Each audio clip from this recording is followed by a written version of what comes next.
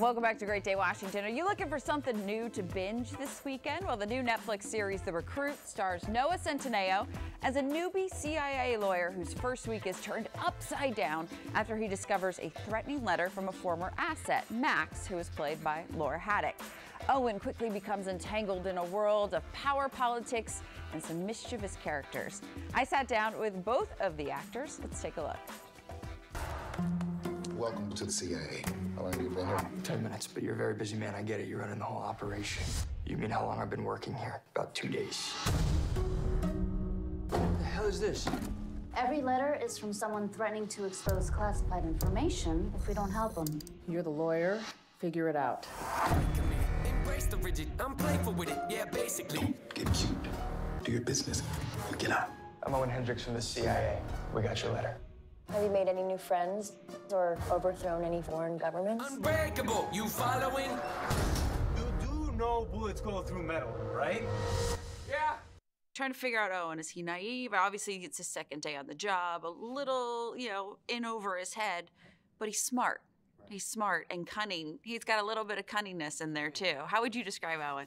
I, just like that, you're definitely right. And he's naive. I mean, he's just inexperienced. It's not that he's not fit for the job and not capable to do the job. He is. He just barely even knows what the job really, really is. And that's that's the fun of this. And the, and the danger of this is he needs to figure that out and rapidly because his life is at stake. Who are you? I'm Owen Hendricks from the General Counsel's office at the CIA. We got your letter. Took you long enough. Yeah, it's a busy place. You know that making threats against the agency is a crime, right? I know many things. More than you, that's for sure.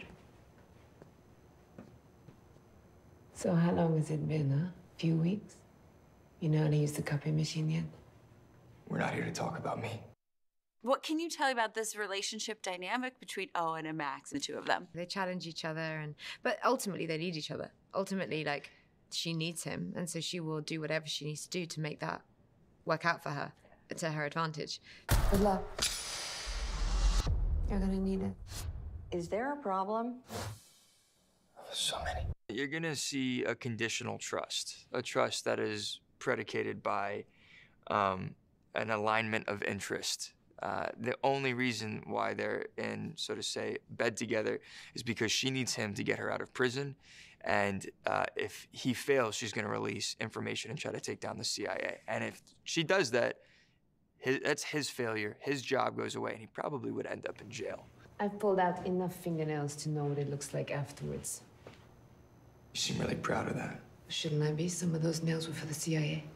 How much fun was it playing Max? The best. I loved it. I loved playing Max. I was so excited because it has all the things that I love, like all the ingredients that I love, which is you know, like she's from a different country, so I'm having to learn a different language, different accent. Physically, she's very different to me.